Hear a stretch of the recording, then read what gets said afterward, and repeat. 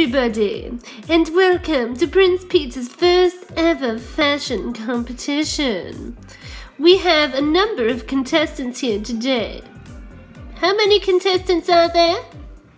Minions! Someone tell me how many We have a number of contestants here today, and they're all going to be competing to see which one is the best dressed. None of them will be as good as me, of course.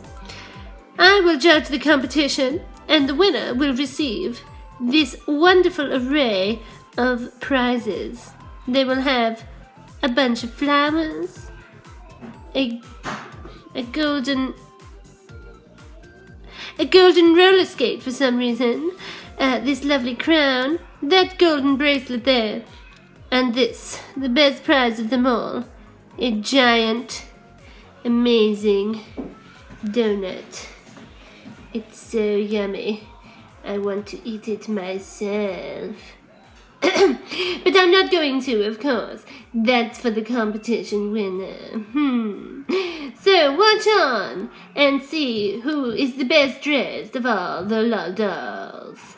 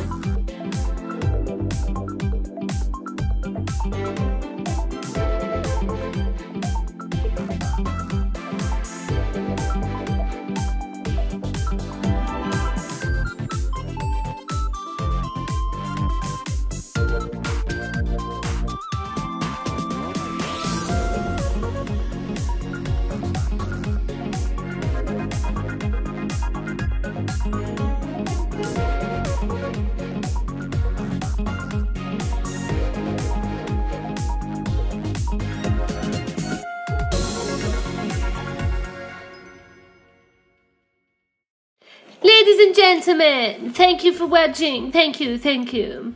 I am very pleased to announce that the winner of the first ever Prince Peter's Perfect Fashion Competition type show thing is... me!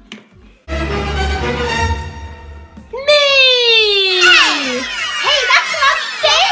Hey, that's not fair! Uh, I think you'll find it is fair because it is my show.